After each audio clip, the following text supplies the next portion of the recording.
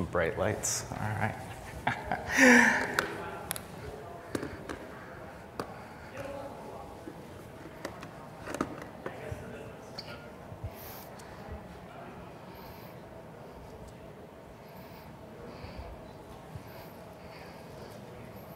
Cool. Okay, hey everybody. Uh, I think we're gonna get started. I know that the uh, Secretary of Education's talk just got out and we'll probably have a few people trickling in, but uh, I know that we're also on a, a timeline here.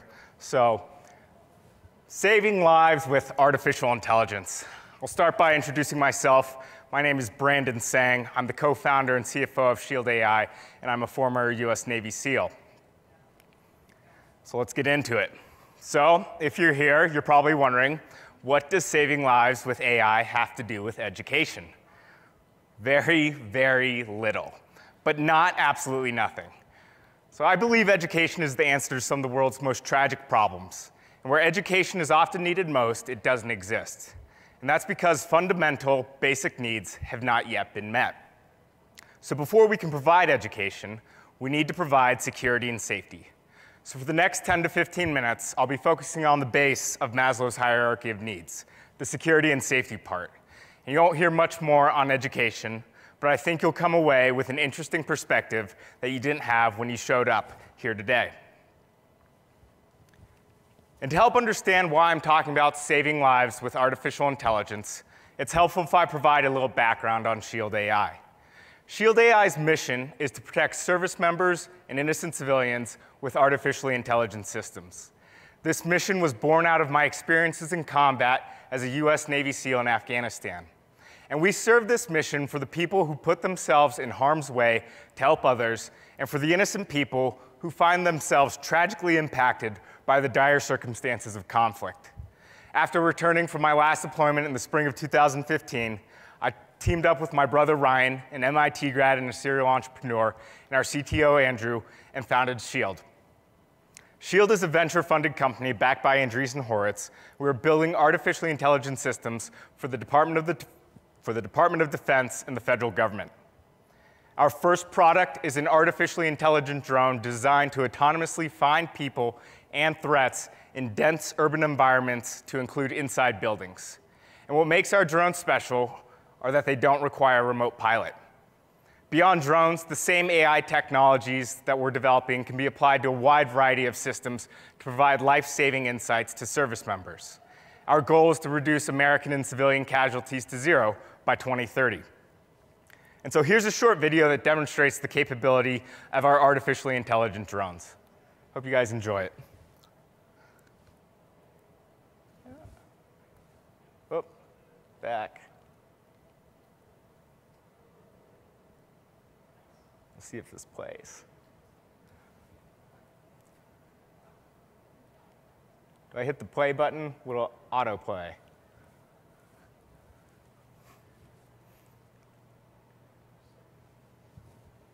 Little technical issue. It worked this morning.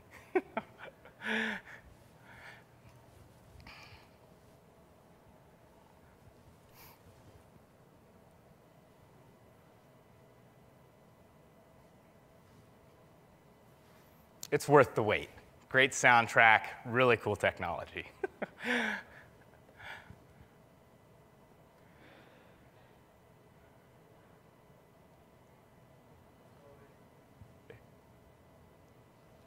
see if I can just. Say again? Okay.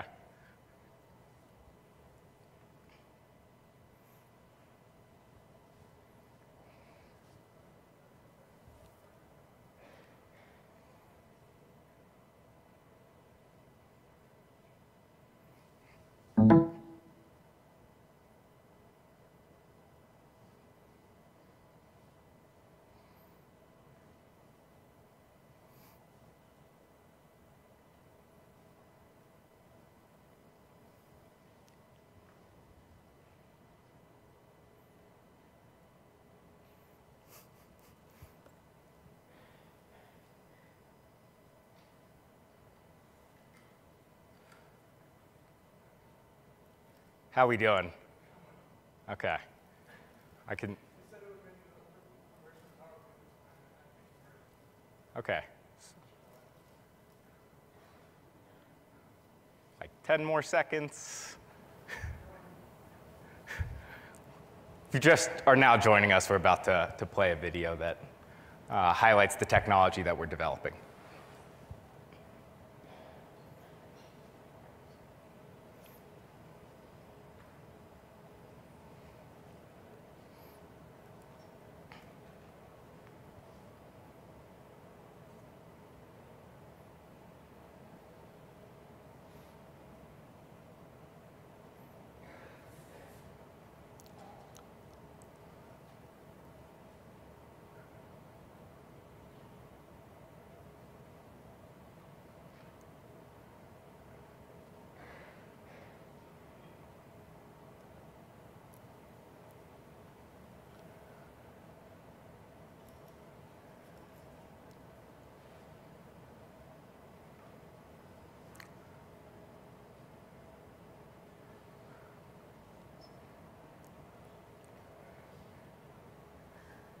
Any chance of it working, or we can?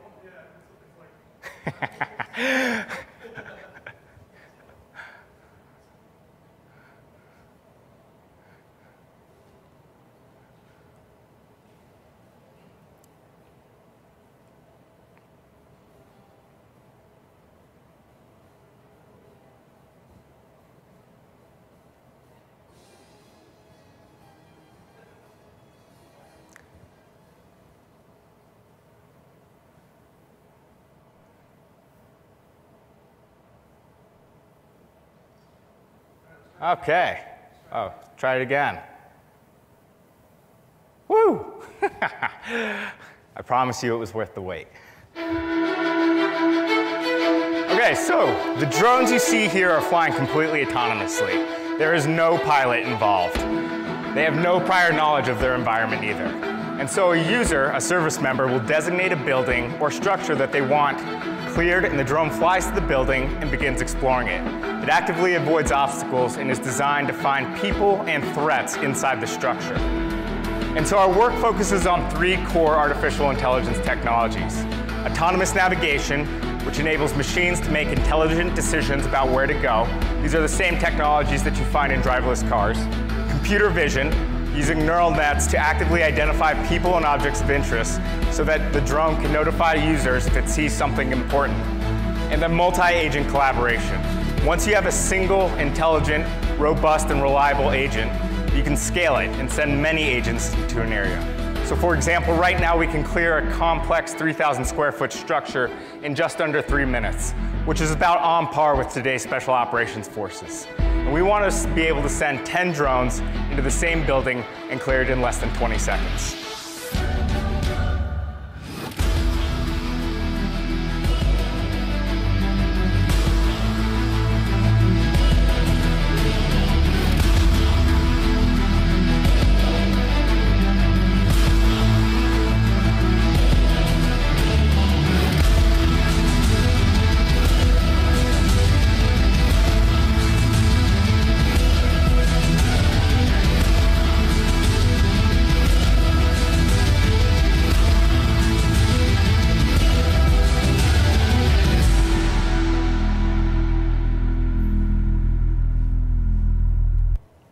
Awesome. So pretty cool, isn't it? I think it is. A little biased.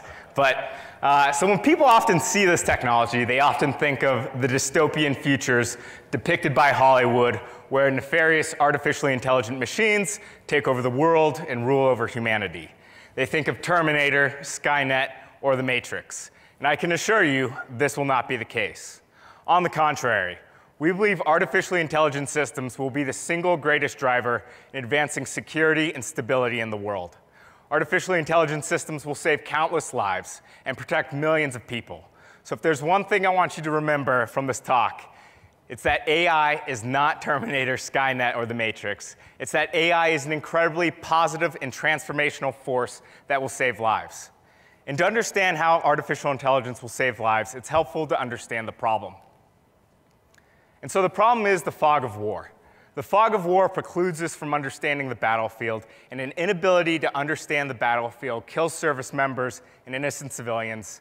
It destroys homes, businesses, and livelihoods. It creates conditions that foster hopelessness, resentment, and unending conflict. And under the fog of war, information that is tactically relevant becomes confusing, distorted, or even unobservable. So, what is the fog of war? It's harder to describe if you've never been in it, but I'll give it a shot. I'll give you three examples of what the fog of war can be to make it feel a bit more tangible. Imagine you're an elite special forces soldier and you're about to enter the target building. Inside that room are two ISIS terrorists who have barricaded themselves with innocent civilians three women, two children, and an old man. When you enter the room, you have less than a, less than a second to distinguish friend from foe. How can you ensure that the innocent civilians won't be hurt during the gun battle that will ensue? how can you ensure that your teammates won't be hurt or killed? Another example, you're a fighter pilot. You've been tasked with a mission to target an ISIS compound and ensure zero civilian casualties. How can you ensure zero civilian casualties if you can't see who's inside the building right before you target it? And one more, you're a helicopter pilot. You've been tasked with medically evacuating critically wounded civilians after a truck carrying explosives detonated itself inside a marketplace. How can you ensure that there isn't a follow-on ambush and that your helicopter won't be targeted? How do I know that there aren't combatants carrying rocket-propelled grenades waiting for your helicopter in the marketplace? And these are not once-in-a-lifetime examples. These examples are experienced every day by service members deployed to conflict zones. And so our inability to make sense of this complex battlefield stems not from incompetence, ill intent, or wanton decision making, but an inability to collect and make sense of the necessary information. And to remove the fog of war, the solution is simple. It requires amazing technology, but it is simple. Collect the missing information and then make sense of it. And AI is very, very good at this. First, this means empowering a few, then many artificially intelligent systems to go where no people or platforms can so safely go today to collect intelligence. Second, it means designing artificial intelligence to draw out insights from the massive amount of data collected by these systems, gathering the information. And by collecting the missing information and making sense of it, we remove the fog of war. So why now?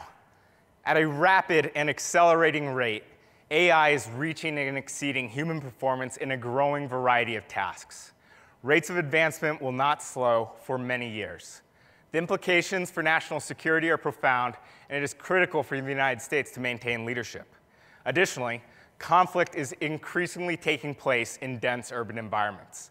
The enemy chooses not to fight in open terrain, but instead is taking advantage of urbanization and now blends with the local population. To the enemy, urban environments are the great equalizer and intelligence systems that are capable of operating in these environments have become increasingly important. And the US has recognized this, which is why the former Secretary of Defense identified artificially intelligent systems as the key component in the United States' third offset strategy. Now, what's an offset strategy? An offset strategy is the development of a technological capability so advanced that in and of itself protects the United States. DoD technology investment has been guided by offset strategies since the 1940s. The first offset brought nuclear weapons, the second offset brought precision guided munitions and stealth, and the third offset is squarely focused on artificial intelligence. Artificially intelligent systems generate access and provide an offset to human risk in contentious environments. And so, an AI is so important because it will augment human performance in a way that will accelerate the knowledge gained from raw information, affording the most rapid and well-informed decision cycles. The speed and accuracy of knowledge reduces risk, it reduces collateral damage, and reduces casualties. And it increases probabilities of attaining desired outcomes. And speed is critically important in combat. It is often the difference between life or death. As I mentioned earlier, if I enter a target compound and there is a room full of people, I have less than a second to discern friend from foe and make a decision to engage or not to engage. My life depends on the speed at which I can make this decision. AI matters because it is fast. So I wanted to quickly talk about decision making. This is the OODA loop.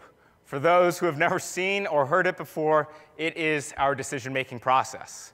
First we observe, then we orient, then we decide, then we act, and then we repeat the process based on what, what has just happened. It's intuitive, and it probably seems a little bit obvious. It was conceived by an Air Force fighter pilot and was used to originally describe the theory of achieving success in air-to-air -air combat. It has since been applied to all aspects of military strategy. In combat and in war, whoever OODAs the fastest wins. And artificially intelligent systems accelerate the OODA loop massively. They provide key observations that allow you to orient, decide, and act much faster. Faster and more accurate knowledge affords decisive advantages in decision making at all levels of conflict management.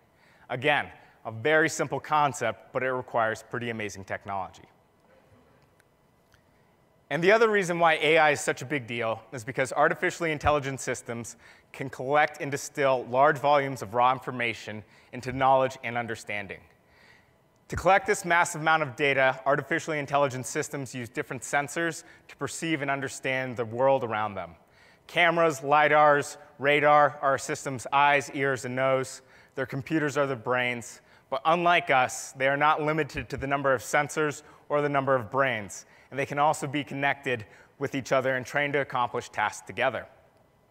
And so the rapid drop in cost of sensors and cost of computing have allowed for the creation of cheap AI systems that work together to collect massive amounts of data on the battlefield and interpret this data. These systems analyze the data and provide an unprecedented level of situational awareness on the battlefield. So what does all of this look like? In the case of the elite special forces soldier entering the room with civilian and ISIS fighters, the artificially intelligent systems have provided the special operators with the knowledge of who's in the building, if they're a threat, where they're located, and that way they can adjust tactics accordingly. For the fighter pilot, it's verification that there aren't civilians in the building that it's about to be targeted. And for the helicopter pilot, it's confirmation that there aren't additional insurgents in, the marketplace, in, in that marketplace that he's conducting medical evacuation. And so, by in, and so by ingesting vast amounts of data and rapidly transforming that data into actionable intelligence, AI will remove the fog of war and allow service members to make better, more informed decisions, decisions that save lives.